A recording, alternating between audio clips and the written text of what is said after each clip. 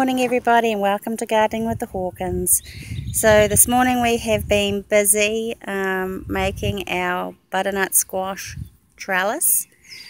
Um, we make our own dog food now and butternut squash is part of the recipe so it is time to grow some.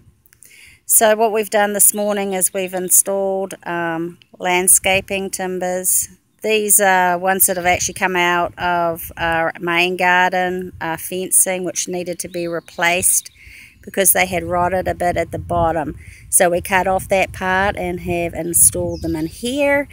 And we're also using the fencing um, that we had uh, got offline for free. So love to recycle as you know so they are that's actually going to work really well. And um, I've uh, made the mounds and um, I dug in some of our leaf mulch which is back there and planted the uh, seeds and gave them a water. So here's hoping these guys take off. We'll keep you posted. Have a great day. Bye